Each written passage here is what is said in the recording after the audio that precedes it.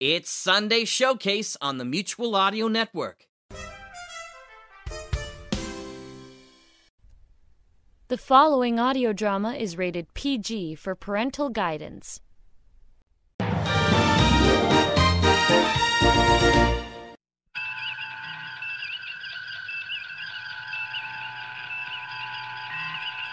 Welcome to The Bridge and Mutual Presents. I'm Jack Ward.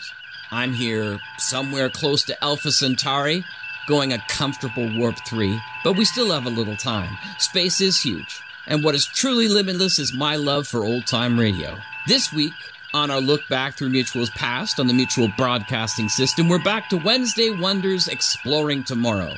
So come watch the Starfield for a while and appreciate our double feature, Telepathic and Time Heals.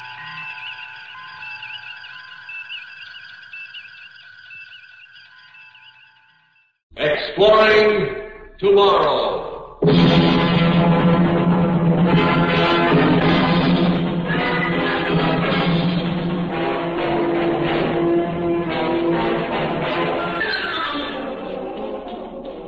And now here is your guide to these adventures of the mind, John Campbell Jr. There's the old saying that power corrupts, and absolute power corrupts absolutely. You know, it isn't really power that corrupts, but immunity, immunity to punishment and control. And every fool with a little power wants to achieve that immunity. Usually it's held that like attracts like. The two individuals with the same great fundamental characteristic will be normally attracted to each other. You know, this isn't necessarily so. It may not be true. You may have two people who don't like each other, but are forced by the very nature of the fact that they have a unique characteristic to endure each other. Oh, just a little more. Oh, Alan, isn't it beautiful the way it bubbles and bubbles? oh, Alan, let's have champagne every night on our honeymoon. You want to take a bath in it? I can arrange that too. Oh, Alan, really?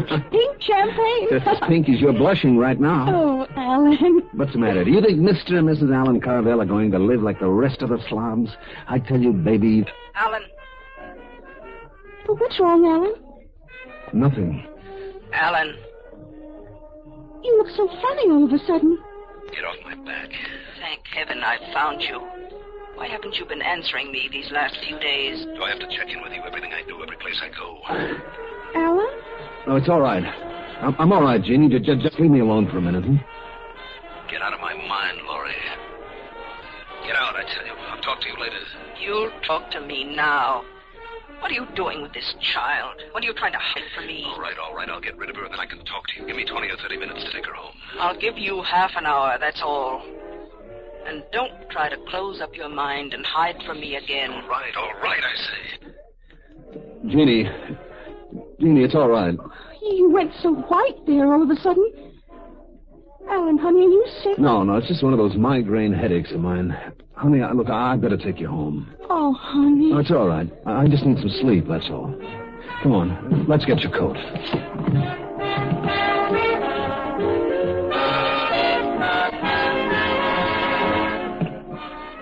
Oh, you, you better not come in. That old landlady. Oh, that's okay. Good night, baby. Oh. Good night now. And, and get lots of sleep. Take care of your poor head. Call me in the morning. That's the deal. Good night, honey. Good night, Alan.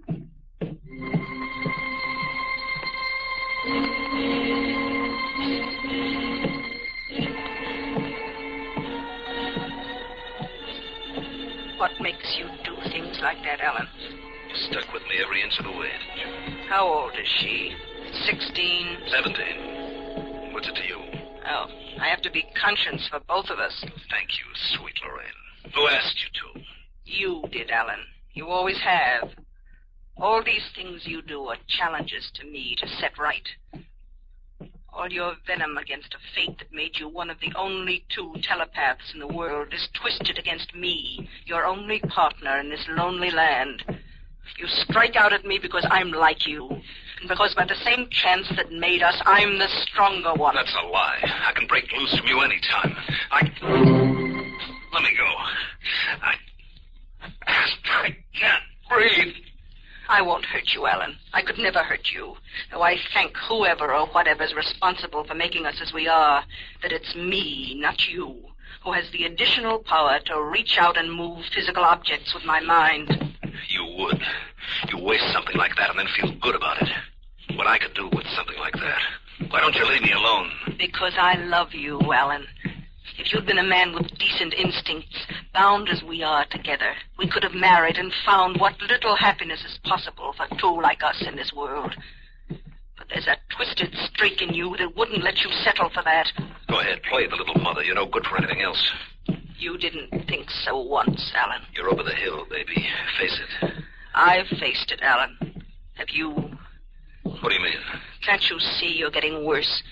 When we were just children together, before we'd even seen each other face to face, we used to talk to each other at night, clear across the city, mind to mind, about how someday we'd go out and find others like us. But if you had the chance to find someone like us now, you wouldn't take it. You don't want others. You want to be the only one. Why not? Why not? You've got a gun in your pocket right now. Don't you see the danger in all that? Don't you know what it can do to you? Don't try to scare me, Laurie. I'm not trying to scare you, Alan. A telepath living in a world of non-telepaths is not a normal person. He can't be. He has to walk a chalk line all the time to preserve his sanity. He can't afford inner conflicts or emotional violences or shocks. What do you plan to do with that girl? What's the gun for? And what's that you're trying to hide right now, right under the surface of your mind there? All right. You want to know? I'll tell you. I'm getting out. I'm getting away from this city and away from you, and that girl goes with me. I'm going to take what I want, anything I want, and live like I deserve to, and you can't stop me. Alan! Alan, answer me! Don't shut yourself off from me like that! Alan! Alan!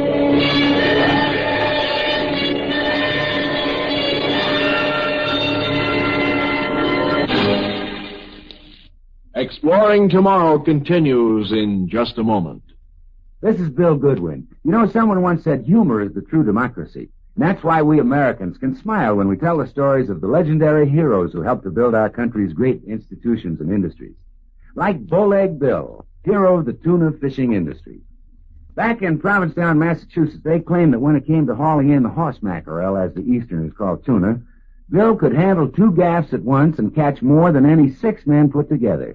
And they're still talking about the time Bill caught old Slick Britches, the biggest horse mackerel of them all. No one could ever get his hooks into Slick Britches, who weighed 2,000 pounds and had a tail six feet long. But Bowleg Bill promised to land him single-handed. He set out in his boat, toss-up, and when he spotted Slick Britches, he made a grab for him, but the tuna slipped through his hands. So Bill dove over the side, and before folks knew what had happened, Bill was sitting astride old Slick Britches, who was bucking like a bronco. He leaped almost a mile out of the water, but Bill hung on. All over the harbor they went, jumping and leaping, but still Bill hung on. Finally, Slick Britches gave one last leap over the toss-up, and then calmed down, all the fight gone out of him. Bill steered him toward shore, but all of a sudden he headed him back out to sea, slapped the tuna's tail, and jumped off. The folks were mighty disappointed when Slick Britches disappeared, but it was like Bill told them. There's nothing that'll break a cowhand's heart so quick as to find a critter with the ruff all rode off at the first mount. Yes, sir, it is a democracy which lets us tell the stories of such a legendary character as Bowleg Bill with a twinkle in our eyes and a chuckle in our throats. And so long as we continue to laugh together as a people, ladies and gentlemen, we will live together as a nation. Telepathy has long seemed like a wonderful thing to have, a wonderful possession. But have you ever considered it in terms of the absolute end of privacy? You know, explorers have found that if you put two men in one little cabin isolated far away from the rest of the world, they don't learn to like each other. They learn to hate each other.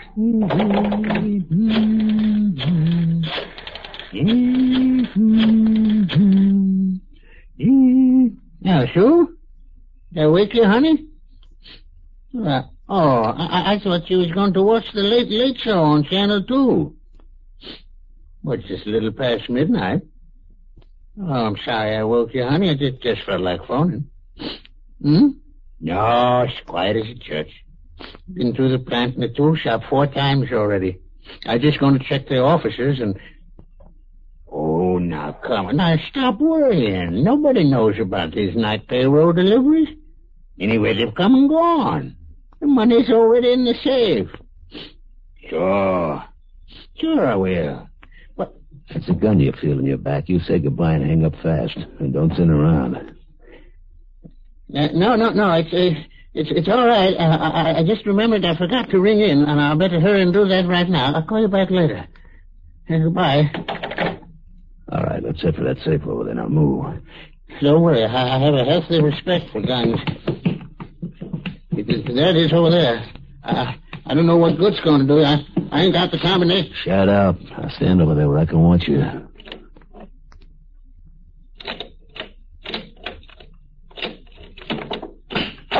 Hey, you opened it right up. Who told you the combination? The president of the company. Are you kidding? What is this, a gag of some kind? Look, if this is just a joke, mister. No. I didn't make... Think about jumping me, will you? Rob. Rob.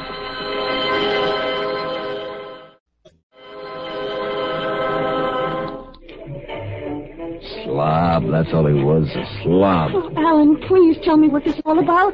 You go home with a migraine headache, and then you, you call up and get me out in the middle of the night. And you keep drinking, but you won't tell me what's the matter. What's the matter? That's a funny one. Come here. Come here. Come close. I'm going to tell you something. Alan, you're hurting my arm. Listen to me. You want to know something? You know how trees think? Hmm? They think real long, slow, and peaceful. And sometimes they take all winter just to think one one little thought. Trees? Hmm Thinking? Oh, it isn't real thinking. It's just living, uh, you know? You hear them living, calm and quiet and slow. And, and cats. Listen to me, baby. You know how cats think? I, I, no. Well, cats think sort of S-shaped, like a snake crawling. And dogs, you know, dogs are all excited, up and down, you know, like a pogo stick. Even when they're dreaming. Everything thinks. Do you know that, Janie? Everything. All day long. Forever. Never. Everything goes around thinking. Long as they live. And when they die. Alan, are you cold? Let Hmm? me hold you. Oh, you're shivering like crazy. Give me a drink. hmm? Sweetheart, you've had enough. I want a drink, I said. Here, give me yours. You're not touching it anyway. Alan, I really think you shouldn't Ah, look, I got a better idea. Tell you what, let's let's get out of here. Let's get out of this town tonight, and we'll go far away where she can never find us. We'll take my car and we'll head south. Right now. We can buy what we need as we go. We get married on the way. What do you say, Jeannie? Well, Alan, I... You love me, don't you love me, baby? You, you said you'd always do anything I ever wanted. Well, this is what I want. Get out tonight, and don't worry about money. I got lots of it. You have? Sure. Where did you get a lot of money all of a sudden? I'll tell you when we're on the road, okay? Well, answer me. Or I'll leave you behind here. Alan, you, you wouldn't go off and leave me. Of course not, honey. But I gotta go. There's, there's no two choices about it, and I gotta go now. Now you're coming with me, or aren't you?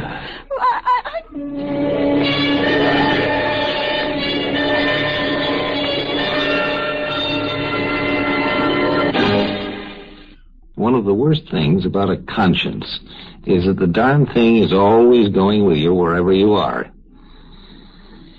Alan had something other than a conscience, and running away didn't do much good. You know, telepathy has no distance limitations. Alan. Alan, What? it's starting to get light. Alan, you never did tell me where you got the money. Not now. Not now. Can't you see I'm out on my feet? Well, we could stop and get a couple of hotel rooms somewhere. No, we've got to keep driving. But we're nearly a hundred miles out of town already. You you keep saying we've got to keep driving, but I don't know why we couldn't stop for just a few hours. Oh, shut up, will you? Alan. If you don't like it, get out and take a bus back. Who needs... I don't know what's wrong with you. You never used to be like this. Then last night. Well, just shut up! Alan, Uh, What? nothing, nothing. Alan. I'm not turning back. Yes, you are, Alan. This time you're turning back, even if I have to make you. Make me then. Alan, you- you're slowing down. She's making me. She's making me.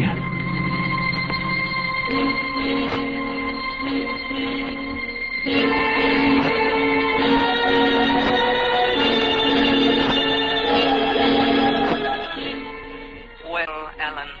Talk out loud. You look in pretty bad shape. Give me a cigarette. There's some on the desk. I'm glad you came right back here when I turned you around. Shows there's some hope. Oh, cut it out. What did you stop me for? That watchman. It was you, Alan, wasn't it? What watchman? Alan. All right, all right. Yes, it was me. He was a slob, so he's dead. So what? The gun you beat him to death with is in your pocket right this minute. So what? So I'm going to have to make you go to the police and show them the gun and tell them. You can't do that by remote control. You'd have to go with me. I'll go with you. And what will you tell them about how you happen to know all this? How about that? I will tell them. What about us? About me and you? About you? I don't want Are to. Are you crazy? You know what that would mean? You think they believe you? And if they did, do you know what it'd be for the rest of your life? You'd be owned, Laurie. Owned. Guarded and locked away by them. The slobs, like a piece of machinery, made to do what they wanted you to do for them. You'd never be free again. All I ever wanted was what any woman wants, the chance to lead a normal life. Look at me, Alan. I'm not bad looking. I never was. But the only man I could ever have been a normal wife to was you, and you never grew up. You've been a selfish little boy all your life, and I, I've paid for it. Why didn't you leave me alone? Just leave me alone. Leave you alone? Do you think you ever really wanted me to leave you alone? I was forced to love you the same way the only woman in the world would be forced to love the only man in the world. Well, now it's too late. I can't let you kill again. Then do it. Go ahead, handcuff me with that mind of yours. Take me to the cops. Make them believe you. Do you think that'll stop me? Do you think there's any jail that can hold me, any guards that can keep me? Go ahead. You're the only force in this world that can chain me, and you can't watch me 24 hours a day. You've got to sleep sometimes, and... Laurie. Laurie, you're choking.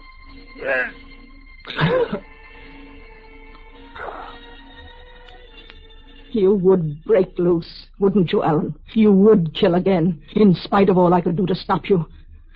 All right, you can breathe now. No, don't look at me like that. I'm not going to kill you. Even now, I can't do that. That gun of yours is in your inside pocket.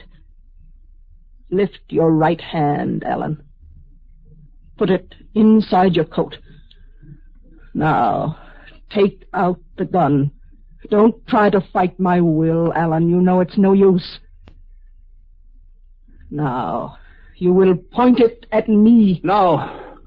No, Laurie, not you. Anyone but you. Not you, Laurie, not you.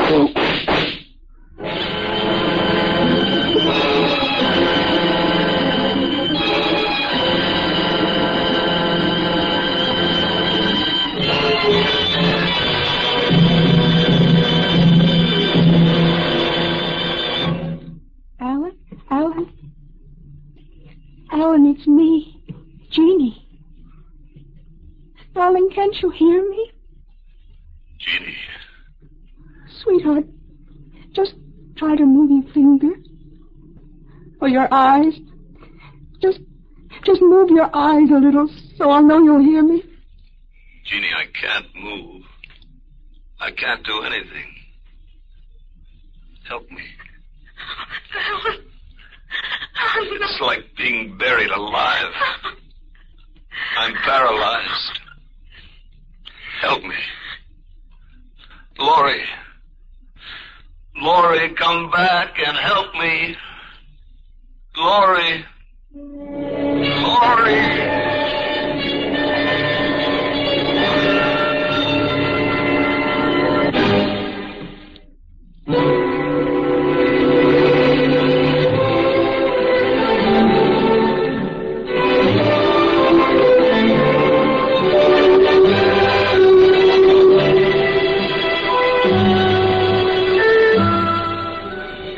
So Alan had his wish fulfilled. Alan wanted immunity from uh, consequences of his actions. There's only one way to achieve it, and he achieved it. If you do nothing, if you have no actions whatever, then you have immunity from consequences. And that's the only way. Otherwise, you're responsible for what you do, whether you like it or not.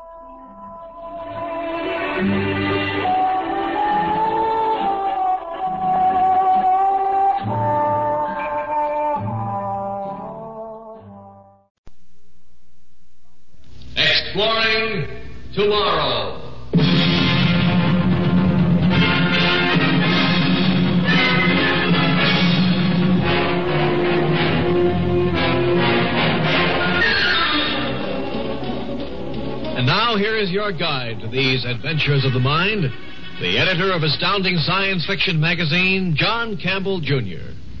We all believe pretty solidly that sooner or later almost any problem you name is going to be solved. So, uh, apparently all you'd have to do is just sort of stand by and if you could wait, uh, it would be solved for you. Uh, I don't think that works right. There's another thing to consider. Exploring Tomorrow is presented by the Mutual Broadcasting System in cooperation with L&M, today's most exciting cigarette. L&M smokes cleaner, tastes best. Live modern, smoke modern L&M. The Kraft Foods Company, makers of delicious new Kraft jellies and preserves. And Cape Coral, a beautiful waterfront wonderland on the western coast of Florida. In a moment, John Campbell returns with the story of Time Heals. If you're like most couples, you want the retirement years to be as rewarding as any in your lives. Years to do all the things you put off while the children were growing up. Well, those years can be rewarding if you start saving now. And the simplest way to save is by joining the payroll savings plan. Here's how it works. First, decide how much you want to put aside each week. Then, this amount is automatically set aside from your paycheck each payday and put into United States savings bonds. Today, Series E bonds are better than ever because the interest rate is higher, three and a quarter percent, and because the maturity is under nine years. Now you can get more faster. So make sure your retirement years are happy ones. Join the payroll savings plan where you work today. This message is brought to you as a public service.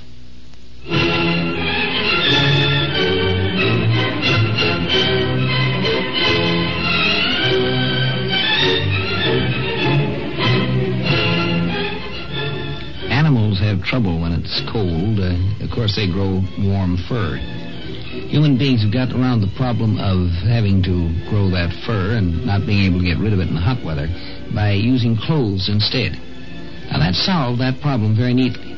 Of course, it did bring in the different problem of having to make clothes and having to figure out ways of raising cotton or wool. You know, when you do solve a problem, sometimes it involves setting up a complex thing to make the solution, and that may be a tougher problem than the problem you started with. Let's consider a fellow who uh, tries walking out, out of time, when he has a problem. Our last night together. Oh, I don't know, Dorothy. Not necessarily. I might come out of that time field a year from now. Or 50 years from now, when I'm old and tired and ugly, and you'll still be young. No, I think I'd rather you waited at least a century. The traditional period in Elf Hill, I believe. But, Jim. Jim, let's stop pretending to be so calm and gallant. There are only the two of us here. Let's, let's just curse our luck for the vile thing it is. There's also the champagne here. Mustn't shock the champagne. I'll open the next bottle. Oh, do you have to be flip every minute, even now? Tomorrow you won't be Jim Hart, bright young advertising executive, wit wolf, an idol of Manhattan's more high-priced intelligentsia. Tomorrow you'll be frozen in a block of frozen time. Can't you let down the mask just for tonight? But you see, my dear, there is no mask. This is me. I dare not admit anything else. I'll get that champagne. Oh, forgive my uh, my choice of music. Childish, perhaps, under the circumstances, but I'm entitled to a little melodrama, am I not? After all, this is literally a life and death proposition for me.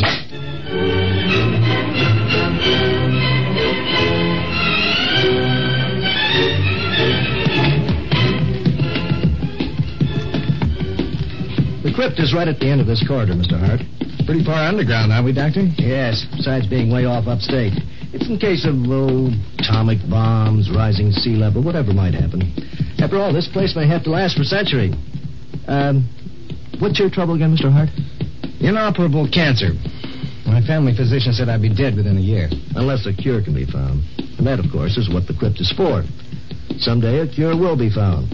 Until then, you will lie here, snug, safe, unchanging, not even conscious of time passing in the outside world.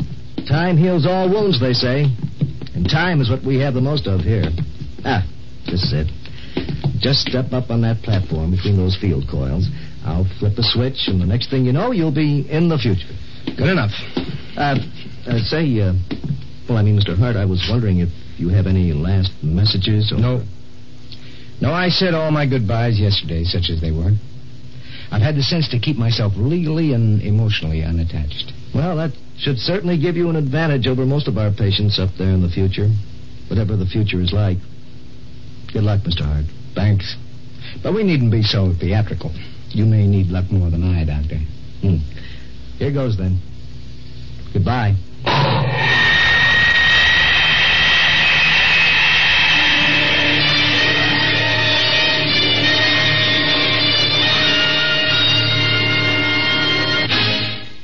Exploring Tomorrow continues in just a moment. Hello, everybody. This is Bill Stern, and I'd like to tell you about a tropical paradise where living is so easy that I intend to settle down and stay there for the rest of my life. The name of my dream city is Cape Coral on the unspoiled western coast of Florida. Just picture 2,000 acres of high, dry pine and palmland honeycombed with 50 miles of navigable waterways just teeming with fish they write books about boating and fishing facilities, private country club and yacht anchorage, a planned 18-hole golf course, tennis courts, and many other luxuries. You can buy a large 80 by 125-foot home site for only $990. Only $20 down and $20 a month and live here like a king on a retirement budget or purchase now for possible profitable resale later. The complete Cape Coral story has been compiled for you in easy-to-read literature. It's yours free of charge. A postcard is all you need. Send it to me, Bill Stern. So long for now. I'll be seeing you at Cape Coral, Florida. To get your free literature, write Bill Stern, Cape Coral, Post Office Box 230, New York 18, New York.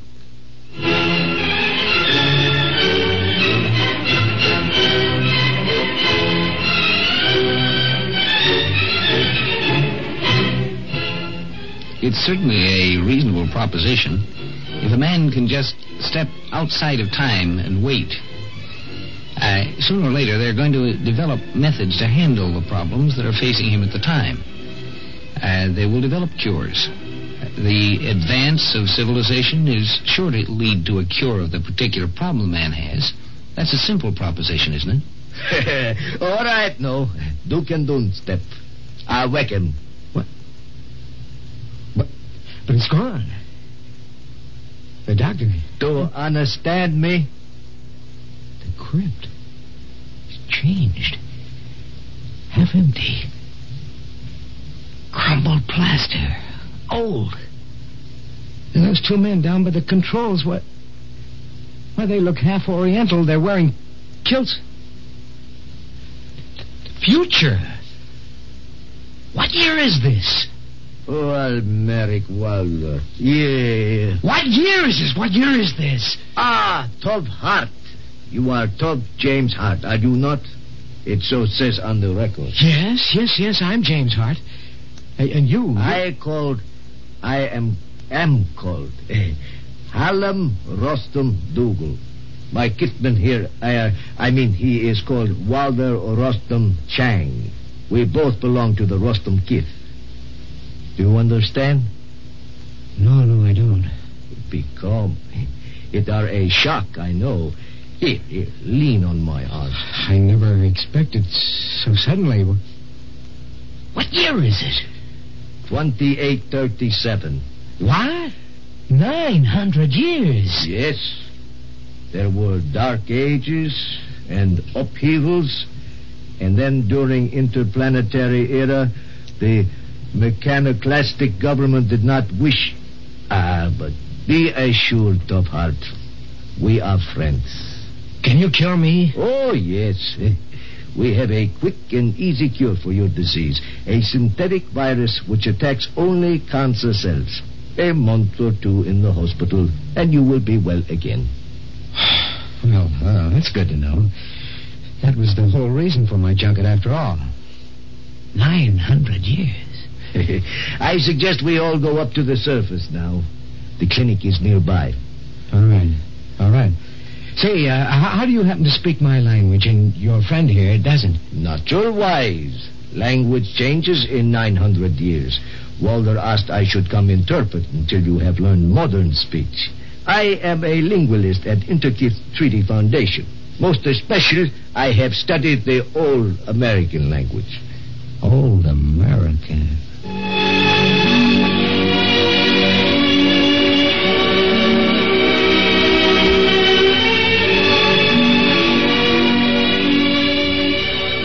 Good morning, Tofart.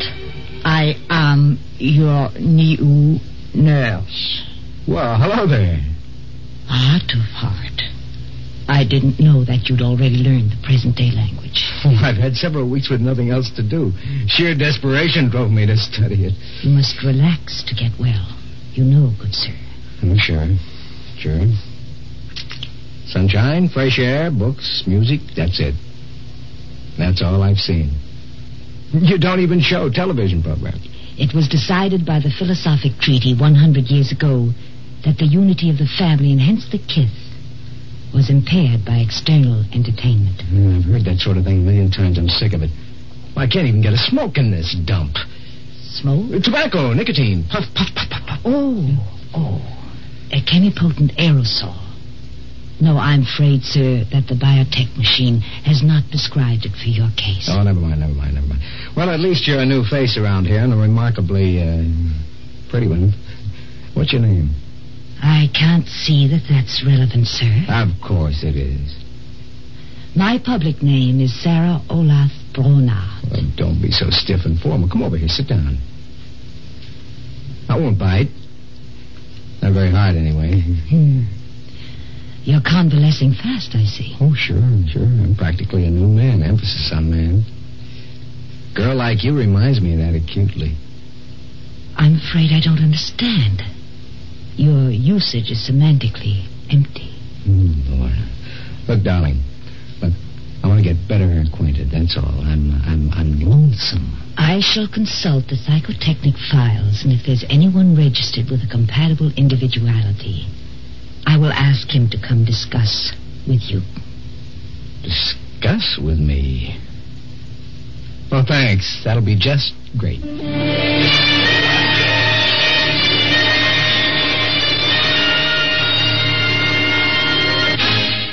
Exploring Tomorrow continues in just a moment.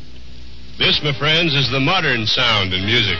Swing turned into bop, and bop turned into progressive jazz. Like into that live modern flavor. Live modern with the big red L and L&M, best tasting smoke you'll ever find. Made from the Southland's finest cigarette tobaccos. And you get that full, rich flavor coming at you through the miracle tip. Pure white inside, pure white outside.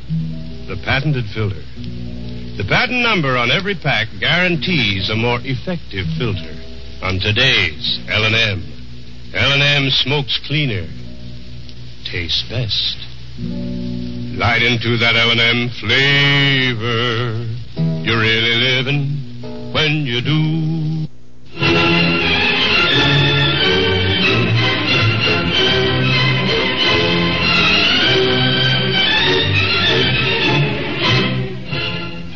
Yes, it's a simple proposition that if you just wait around, they'll find a cure for your problem. The trouble with the proposition is that it's a little too simple. The other half of the proposition is they'll find other things, too. They'll find other problems to work on. And they won't be interested in the type of problems you've been used to. Ah, Tobe Hart. It is a pleasure to see you well again. Please honor me by accepting a seat. Well, thanks, but uh, you wouldn't have anything I could really sit on, would you? I mean, I can't get used to this hard, low-legged stuff you call furniture nowadays. Oh, my apologies, sir. I imagine one does need a lifetime to become habituated to a complex of postures. Oh, oh, well, forget it. It's a nice place you've got, uh, Allen. Oh, pardon me, sir. One friendly word of advice. It is considered rude to compliment a man in his home. Well, that's why I've come to you, Mr. Uh, Hallam. Look, you've studied the history of my own period. You may be able to help me. The rest, oh, they're, they're very polite, but I'm frozen out. I just don't fit in. Everything I do seems to offend somebody somehow. You feel yourself isolated. Well, I, I, I made my own way in the, in the 20th century. I had friends. At least I knew a lot of people. I knew my way around. I was well-to-do. Here I'm, I'm living on a pension out of the charity fund. I'm not invited anywhere because I don't know how to behave. Your conversations, your ceremonies bore me stiff anyway. It, it was politely explained to me that I. I haven't a good enough heredity for any kith to consider me as a marriage prospect. What, what, what, did you take me out of the crypt for? Why did you kill me if I'm to hang around here doing nothing for the rest of my life? Oh, please, please, Tubhart, relax. I beg you. Well, give me something to do. Just give me something to do. I'll prove myself. I can I can start with some simple job, work my way up, study, learn. I'll show you what I can do if you just give me a chance. From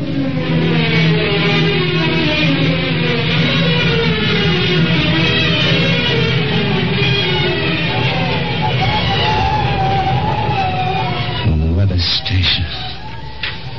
From the one-man crew of a weather station on the Greenland ice cap.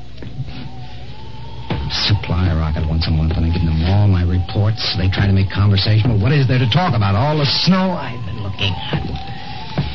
What a beautiful aurora up there in the night sky, the half a year night sky.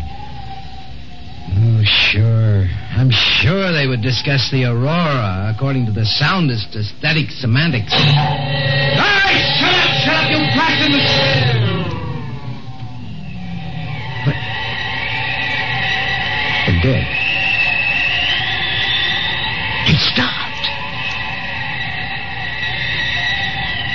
Me? How much do all the machines in this place do anyway? How much do they know? I'm one little man among a thousand machines. How can I tell what they're thinking in those steel-brained cases? All I can do is copy numbers off their dials onto a printed form. And... Well, why isn't there a machine to do that too? Why am I here at all? Charity, sure, make work. Where's that bottle? At least they had the decency to leave me some bottles. Here, here, I know I left it here. Well, why quit anyhow? Here's a snug home, ample food, books, plenty to read, plenty to drink. Man, I got a maid.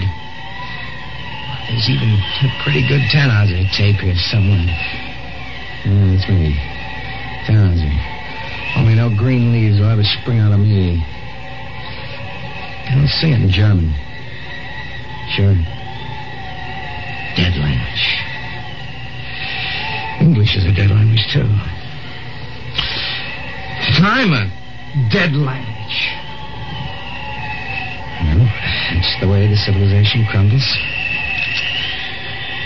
Drink up, Dorothy. Here's to us.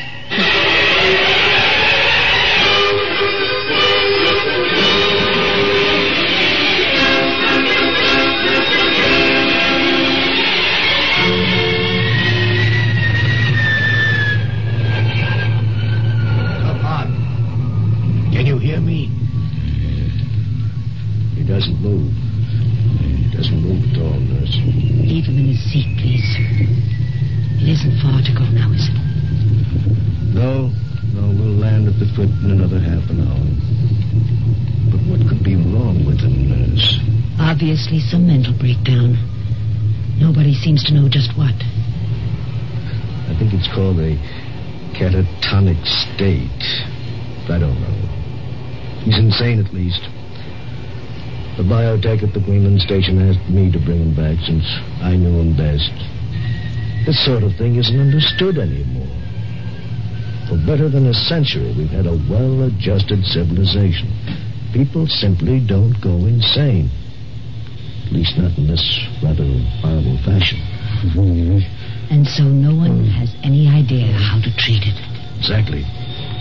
Oh, we could try various chemicals and whatever else occurred to us. But we would be working blindly with a grave risk of damaging his brain beyond repair. So we are putting him back in the crypt. Yes. The next cycle of civilization. A Thousand years from now, ten thousand, a hundred thousand years. They will know how to cure James Hart. But will he feel any more at home with them than with us? Less, I should think. So he may break down again. So badly that even they can't cure him at that time. Then they will have to put him back in the crypt. God help him. God help us all.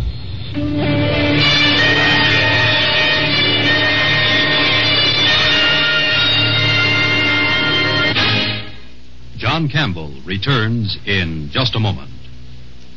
Remember how Grandma used to boil jellies and preserves on the stove in the kitchen? Mmm, what a wonderful aroma. But you know that wonderful aroma was really flavor boiling away. And lots of folks still boil flavor away when they're making jellies and preserves. Not Kraft. Kraft jellies and preserves are cool cooked at temperatures way below boiling to keep the flavor many others boil away. That's why Kraft jellies and preserves have that true fresh picked flavor, a flavor you can add to your favorite foods. There are so many ways to use these fresh, delicious flavors, such as a mouth-watering strawberry coffee cake. It tells you how in the free recipe folder. Flavor magic for your favorite foods with Kraft jellies and preserves. Just write to Kraft Jellies and Preserves, Box 5310, Chicago 77, Illinois. Box 5310, Chicago 77. Do it now before you forget. And be sure to get Kraft Jellies and Preserves. Exploring Tomorrow was presented by the Mutual Broadcasting System in cooperation with L&M, today's most exciting cigarette. L&M smokes cleaner, tastes best. Live modern. Smoke modern L&M. The Kraft Foods Company, makers of delicious new Kraft jellies and preserves. And Cape Coral, a beautiful waterfront wonderland on the western coast of Florida.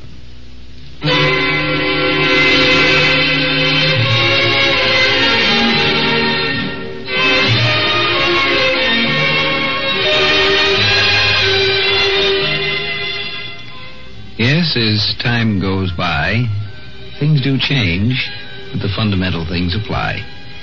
And the most fundamental of all, really, is you can't walk out on a problem and just let it take care of itself. By the time it gets taken care of, it's ready to take care of you, but good.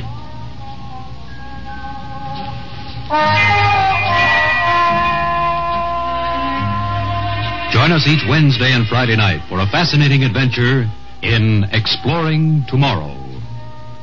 Heard in our cast tonight were Lawson Zerbe, Connie Lembcke, and Sam Gray. Script was by Poul Anderson. Produced and directed by Sanford Marshall here in New York.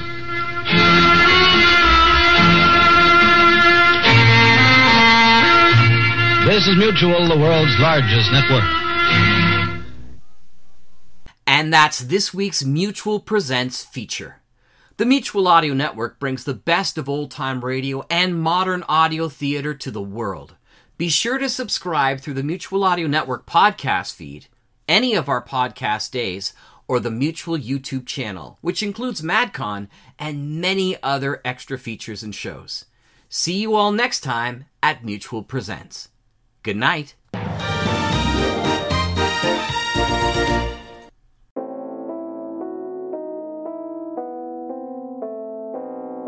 Now, you seem to me to be a connoisseur of the best of radio drama. In which case, make sure you're subscribed to the Monday Matinee feed. There we have our weekly series of dramatic, theatrical, classic, eclectic, and live radio drama. So, yeah, either the main Mutual Audio Network feed for all types and genres of audio drama, or the Monday Matinee. And we'll see you there. The Mutual Audio Network. Listening and imagining together.